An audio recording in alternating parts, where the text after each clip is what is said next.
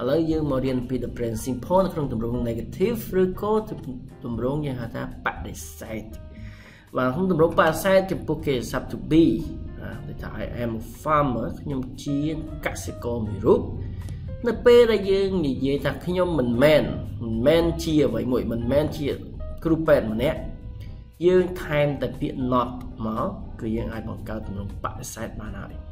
យើងគឺគាត់គឺជាកសិករម្នាក់មួយរូបយើងថា I am a farmer ខ្ញុំគឺជាកសិករម្នាក់ I am a farmer ខ្ញុំមិនមែនជាគ្រូពេទ្យអីទេម្នាក់ទេ I am not a doctor ខ្ញុំមិនមែនជាគ្រូពេទ្យទេអូខេអញ្ចឹងយើងថែមនៅពាក្យ not មកគឺយើងបានបង្កើតទម្រង់បដិសេធហើយអឺទម្រង់ស្រប យ៉ាងម៉េចទម្រង់បដិសេធថែមតំណត់មកចំពោះកិរិយាសព្ទ to be បាទជាក្នុងចំណុច2.1គឺយើងរៀនអំពីការបង្កើតទម្រង់បដិសេធជាមួយនឹង to be ហើយខ្ញុំសង្ឃឹមថាអ្នកនរគ្នាឬខ្ញុំតម្រូវឲ្យអ្នកនរគ្នាចេះในការប្រើ to be នៅក្នុងទម្រង់ទម្រង់ស្របណាបើសិនជាអត់តាន់ទេទៅមើលវីដេអូមុនមុនបាទនិយាយពីការប្រើ to be នៅក្នុងទម្រង់ស្រប អូខេឥឡូវយើងបង្កើតទម្រង់បដិសេធហ្នឹងគឺងាយស្រួលទេណាដូចថា I am she is we are ហើយយើងថែម not មកគឺមិនមិនជាអ្វីហើយណា I am not a doctor ខ្ញុំមិនមែនជាគ្រូពេទ្យអ្នកទេ I'm not doc uh, uh, uh, she is not a doctor ណានាងមិនមែនជាគ្រូពេទ្យម្នាក់ទេ we are not doctors បាទ we វាច្រើនបាទច្រើនហើយ doctors ក៏យើងអត់ដាក់អឺដែរដោយសារតែ we អញ្ចឹងទៅជា doctors មួយហ្នឹងជាមួយនឹង s បាទអញ្ចឹងទម្រង់ negative របស់គេសាប់ b ថែមតំណត់មកហើយហើយបាទអញ្ចឹងឥឡូវឧមាថាខ្ញុំគឺជាកសិករមួយរូបខ្ញុំមិនមែនជា doctor ទេយើងនិយាយម៉េច I am a farmer I am not a doctor អូខេហេឥឡូវយើងបញ្ចប់ ជាមួយនឹងការបង្កើតទម្រង់បដិសេធជាមួយនឹង to be បាទឥឡូវយើងមកបន្តទៀត2.2នេះគឺទម្រង់បដិសេធប៉ុន្តែ contractions negative contractions មានន័យថាការបង្រួមទម្រង់បដិសេធហ្នឹងគឺថា you are not a doctor ហ្នឹងប៉ុន្តែគេបង្រួមគេគេនិយាយខ្លីអូខេគេនិយាយខ្លីជាងមុនដោយសារអីដោយសារតែភាសាអង់គ្លេសអាពាក្យ R បាទពាក្យ R ដែលជា to be ហ្នឹង វាអត់សូវជាមានទម្ងន់ទេបាទអត់សូវមានទម្ងន់ទេអញ្ចឹងទោះបីយើងនិយាយក៏យើងនិយាយមិនសូវលឺដែរ you are you're not a doctor you are not a doctor ដល់ពេលនិយាយទៅអត់សូវមានទម្ងន់អាហ្នឹងសឹងតែមិនលឺមិនលឺតែ R អូខេអញ្ចឹងពេលគេសរសេរជាទម្រង់កាត់ទៅវាមិនសេ R ទេសរសេរតែ apostrophe arm បានហើយណា you're not you're not a doctor អូខេឬក៏យើងអាចនិយាយបានថា អូខេយើងមកកាត់អាកន្លែងកន្ទុយនេះវិញ you are not តែជា you aren't you aren't you aren't a doctor ណាយើងអាចអាន aren't ក៏បានយើងអាច aren't ក៏បានយើងអស់ aren't aren't ណាយើងអាចនិយាយ aren't ឬក៏ aren't បានដូចគ្នាណា you aren't a doctor you are not a doctor បានដូចគ្នាទម្រង់ខ្លីណាចឹងយើងអាចបង្រួមមកកន្លែង are ឬក៏បង្រួមកន្លែង not okay គឺសម្គាល់កន្លែងនេះតិចទៅហើយវាចង់ឲ្យយើងស្ទាត់យើងធ្វើលំហាត់ណាយើងធ្វើលំហាត់ okay ចឹងបើសិនជាគាត់មិនមែនជាគ្រូពេទ្យមួយរូបហើយយើងនិយាយទម្រង់ខ្លីយើងអាចនិយាយបានពីរប្រភេទមិនចឹងណា you're not you're not a doctor ឬក៏ you aren't a doctor okay ខ្ញុំអត់តន់ចង់បកនិយាយបញ្ចូលអំពីពាក្យភាសាអង់គ្លេសគេបញ្ចូលនេះទេបាទ ដោយសារខ្ញុំគិតថាអ្នកនរគ្នាប្រហែលជាចាំនេះទៀតណាចាំនេះទៀតឥឡូវយើងបញ្ចូលហ្នឹងវាអត់តន់ជ្រាបដោយសារតែយើងកំពុងតែបដោតទៅលើប្រយោគងាយងាយសិនណាប្រយោគងាយងាយសិនអានេះប្រយោគនេះចូលមកទៅជាប្រយោគវាស្មុគស្មាញទៀតហើយអូខេយើងមើលទៅប្រយោគជាទីហោសំខាន់តែម្ដងទៅណាokay ឥឡូវ further examples យើងមកមើលឧទាហរណ៍បន្ថែមណាខ្ញុំមិនមែនជាគ្រូអឺជាគ្រូទេណា I'm not okay I'm not អញ្ចឹង I I am ទៅជា I'm I am I'm I'm not a teacher I'm not a teacher ខ្ញុំមិនមែនជាគ្រូពេទ្យទេចា not នេះគេឮច្បាស់ដែរណា I'm not I'm not a teacher អូខេនេះគឺជាពាក្យថា he's not he's not a farmer គាត់មិនមែនជាកសិករមនុស្សទេ he isn't a farmer គាត់មិនមែនជា កសិករមនុស្សទេអូខេអញ្ចឹងអឺបើសិនជាគាត់មិនមែនជាកសិករមួយរូបយើងអាចនិយាយបានពីរទម្រង់បាទយើងអាចនិយាយថា he's not he's not ឬក៏យើងអាចនិយាយថា he isn't he isn't a farmer អូខេ they អញ្ចឹងណា they are ទៅជា they they are they are ទៅជា they they they're not America they're not American អូខេឬក៏យើងនិយាយថា they aren't American they aren't American okay ជាខ្ញុំបិទហ្នឹងណា okay ជាគេមិនមែនជាជនជាតិ American ទេគឺ they are they aren't American ឬក៏ they're not American អូខេជាងយើងត្រូវស្គាល់ទម្រង់កាត់របស់វាណា ទម្រង់កាត់ហ្នឹងបានមកពីរឿងយើងមិនសូវសង្កត់សម្លេងលើពីពាក្យពេញរបស់វាហ្នឹងឯង okay នៅពេលដែលទម្រង់បដិសេធយើងនិយាយគឺលើច្បាស់នៅពាក្យ not ឬក៏ nt អូខេចឹងអ្នកនរគ្នាអាចអនុវត្តបន្ថែមទៅណាបាទនិយាយមក I'm not a teacher he's not a farmer he isn't a farmer they're not American គាត់មិនជាជាតិ American ទេ they aren't American គេមិនមែនជា American ទេ ឥឡូវយើងមកមើល2.3បាទតម្រងបដិសេធដែរប៉ុន្តែជាមួយនឹងកិរិយាសព្ទផ្សេងទៀតokay ជាមួយនឹងកិរិយាសព្ទផ្សេងទៀតនៅក្នុងបច្ចុប្បន្នកាលធម្មតានេះអឺកិរិយាសព្ទខុសពី to be okay ដូច work ណាយើងដឹងទម្រង់ស្រប I work ដល់ពេល he ទៅ he works អូខេតម្រងបដិសេធរបស់វា គឺយើងត្រូវការប្រើ auxiliary verb do មកជួយ okay ចំពោះកិរិយាសព្ទដែល work okay work ជាមួយនឹងប្រធាន I យ៉ាងហ្នឹងឯង I you we they ហ្នឹងគឺយើងអត់មានដាក់ s ដូច he she it ទេយើង I work ដល់ពេលយើងប្រើកិរិយាសព្ទជំនួយ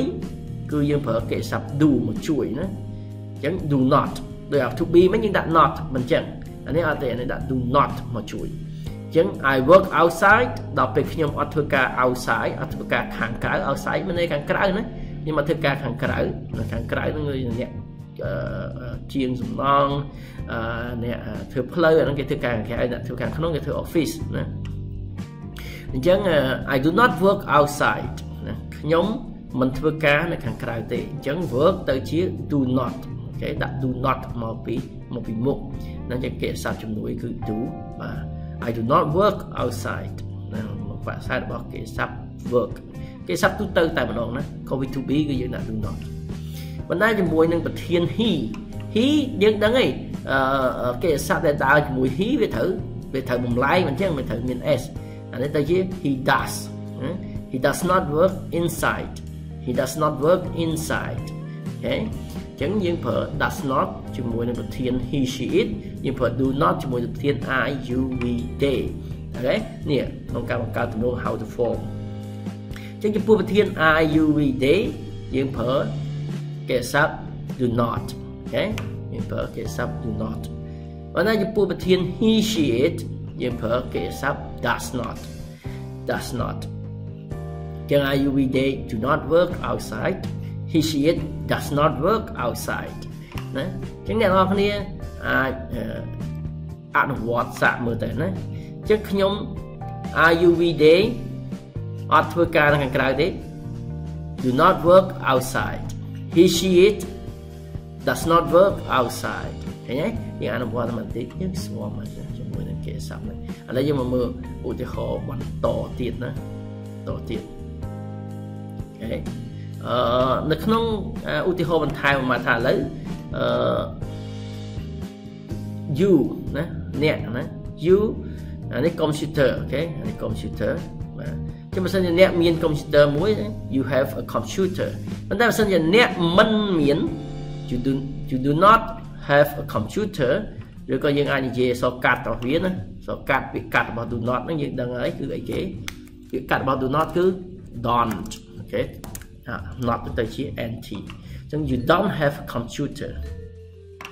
អូខេបើសិនជា true false យើងនឹងឯង true fail នៅប្រទេសបារាំងអញ្ចឹងអញ្ចឹងវាមិនមែននៅនៅ Los Angeles ទេបើសិនជាគាត់រស់នៅក្នុងទីក្រុង Los Angeles យើងថា he lives in Los Angeles បាទមូលហេតុដែលនិយាយ lives មិញដោយសារតែ he ណា he lives in Los Angeles ប៉ុន្តែបើសិនជាគាត់មិនរស់នៅក្នុងទីក្រុង Los Angeles ទេទៅជា he does not live in Los Angeles អូខេជាងយើងប្រើ does not ដើម្បីជាកិរិយាសព្ទជំនួយបាទឲ្យកិរិយាសព្ទ live នេះចឹងបើគាត់ ណាបើគាត់នឹងអត់រស់នៅអឺ Los Angeles យើងថា he does not live in Los Angeles ឬក៏យើងអាចបង្រួមមកវិញទៅ he he does not ទៅជា he doesn't okay he doesn't live in Los Angeles okay ចឹងអ្នកនរគ្នាអាចធ្វើចេះបានណាអ្នកឯងអត់មានកុំព្យូទ័រមួយទេ you do not have a computer ឬក៏ you don't have a computer អូខេបើសិនជាគាត់អត់រស់នៅ Los Angeles យើងថា he doesn't live in Los Angeles ឬក៏ he do not uh, he does not live in Los Angeles អានេះជួនកាលគេអាន Los Angeles អូខេណា Lee ណា Les Okay we don't start work at 8 am គេយើងមើលម៉ោងហ្នឹងម៉ោងប៉ុន្មាននេះម៉ោង9 អញ្ចឹងគាត់មិនមែនចាប់ផ្ដើមធ្វើការនៅម៉ោង9ទេណាចាប់ផ្ដើមធ្វើការគឺ start start work អូខេអញ្ចឹងយើងមិនចាប់ផ្ដើមធ្វើការនៅម៉ោង9ម៉ោង8ទេណាយើងធ្វើការម៉ោង9អូខេអញ្ចឹងយើងមិនធ្វើការនៅម៉ោង8យើងថា we don't start work at 8 am អូខេយើងអត់ចាប់ផ្ដើមធ្វើការនៅម៉ោង8ទេ we don't start work at 8 am ឬក៏ we do not start work at 8 am ណាយើងអាចនិយាយពាក្យ don't work don't start work ឬក៏ do not start work he doesn't have a car អានេះឡានឡាន car ណាបើអត់មានឡានថា doesn't have a car អញ្ចឹង he doesn't have a car ឬក៏ he does not have a car អូខេយើងអាចនិយាយ he doesn't have a car ឬក៏ he does not have a car អញ្ចឹងគាត់អត់មានអត់មានឡានឡានទេ okay ឥឡូវផ្នែកគឺជាទម្រង់អឺបដិសេធបាទជាមួយនឹងកិរិយាសព្ទទូទៅគឺយើងអាចប្រើយើងត្រូវប្រើ do not ឬក៏ does not បាទវាអាស្រ័យទៅតាមប្រធាន okayហើយអ្វីដែលអ្នកនរគ្នាត្រូវប្រយ័ត្នណាយើងត្រូវប្រយ័ត្នគឺ he does not work outside យើងអត់ប្រើពាក្យ he does not works មាន s ទៀតទេណាយើងដឹងហើយ he works outside បើសិនជាគាត់ធ្វើការនៅខាងក្រៅទៅ he works outside ឃើញទេប៉ុន្តែបើសិនជាគាត់អត់ធ្វើការខាងក្រៅទេ គឺយើងប្រើ